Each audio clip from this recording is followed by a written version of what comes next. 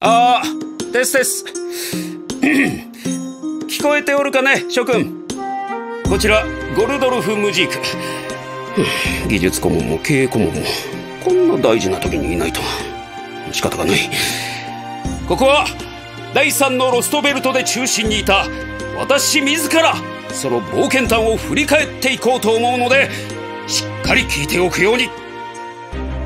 北欧異文隊を脱出して方向海にたどり着いた矢先我々をいや正確にはマスターをニックキ・コヤンスカヤの毒牙が襲う。不用意にも毒入りケーキを食べてしまったのだ。命の危機に直面したマスターそして私は何としても救わねばならない。解毒剤を手に入れるべく第三の異文隊へと乗り込んだ我々を待ち受けていたのはクリプタアクタ・ヒナコとソロ・サーバント乱領王だった。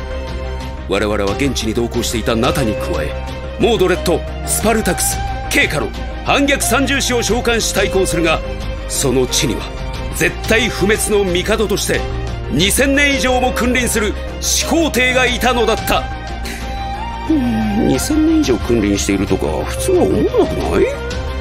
クリプターに加え英傑降雨による攻勢にさらされたカルデアであったが始皇帝の命を受けた新両玉の登場によって一時難を逃れる。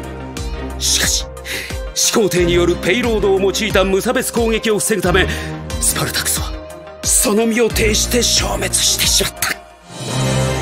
我々は始皇帝と敵対していたコヤンスカヤの協力でアクタ・ヒナコを追い詰めたが窮地にアクタ・ヒナコは真相グビ人としてその真の姿を現す。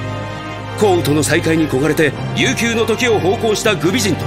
地球上を秦という国家でもって平定戦とする始皇帝。マスターの命のリミットが迫る中それぞれの思惑をめぐる物語は風雲急を告げるのだった。とまあこんな感じだったのだがレポートを出したのも君だろうに。この方じゃ必要だったのかね？私はそろそろ寝かせておいたパン生地の様子を見に行くので失礼するよ。